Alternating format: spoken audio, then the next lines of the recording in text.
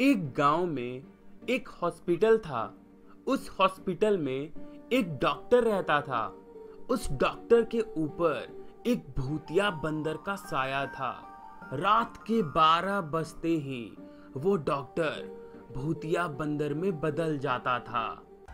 हे भगवान, बारह बजने वाला है। मुझे अपने आप को एक रूम में बंद करना होगा, वरना कुछ अनर्थ हो जाएगा। उसके बाद वो डॉक्टर एक रूम में जाता है और रूम का दरवाज़ा अंदर से बंद कर देता है। और फिर बारह बजते ही वो भूतिया बंदर में बदल जाता है और वो खून का प्यासा रहता है। उसे खून चाहिए होता है, लेकिन दरवाज़ा अंदर से बंद रहता है और उसे पता नहीं होता कि कैसे खुलेगा। तो वो बाहर निकलने के लिए बहुत ही बेचैन हो जाता है और डरावनी आवाज़ें निकालने लगता है।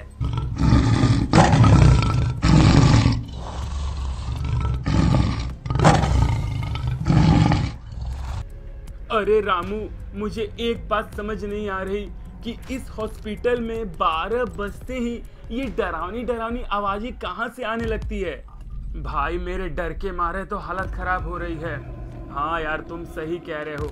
मैं जिस दिन से इस हॉस्पिटल में आया हूँ, उस दिन से ये आवाज़ें सुन रहा हूँ।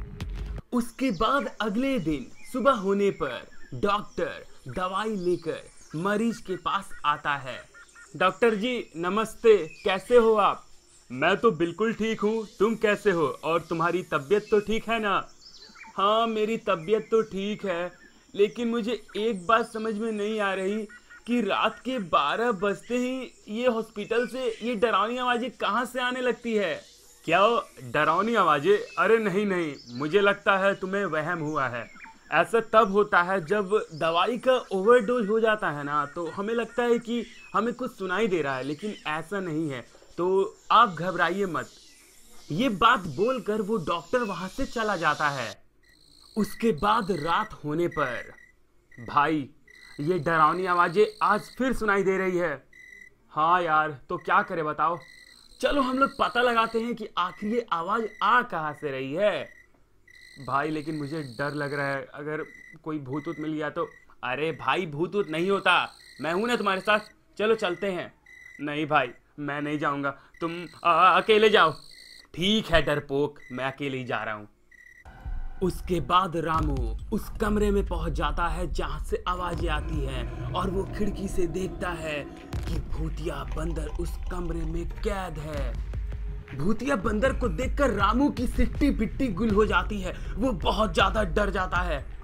अरे मर गए रे अरे ये तो भूतिया बंदर है। अरे भागो रे, अरे मैं कहा फंस गया? अरे भागो रे, भागो।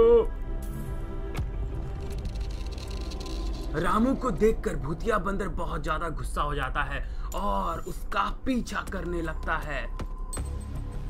रामू भागते भागते हॉस्पिटल से बहुत दूर निकल जाता है।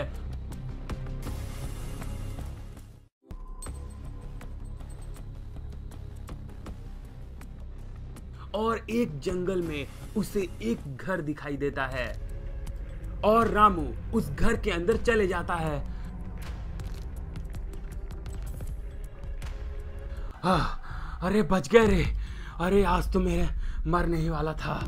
बच गए। भूतिया बंदर भी रामू का पीछा करते करते जंगल में उस घर के पास आ जाता है।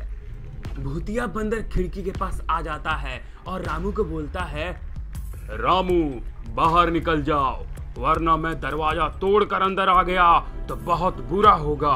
प्यार से बुला रहा हूँ। चलो बाहर आओ। अच्छा ठीक है, मैं बाहर आ रहा हूँ।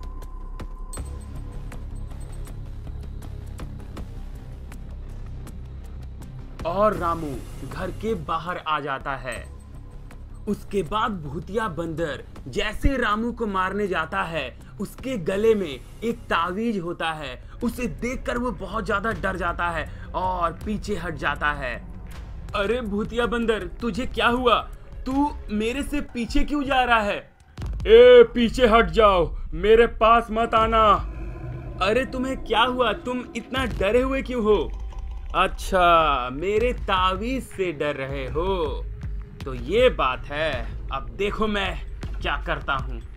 उसके बाद रामू भूतिया बंदर के ऊपर ताविज पहना देता है। अरे, मूर्ख इंसान, तूने ये क्या किया? और भूतिया बंदर जलने लगता है और जलकर मर जाता है।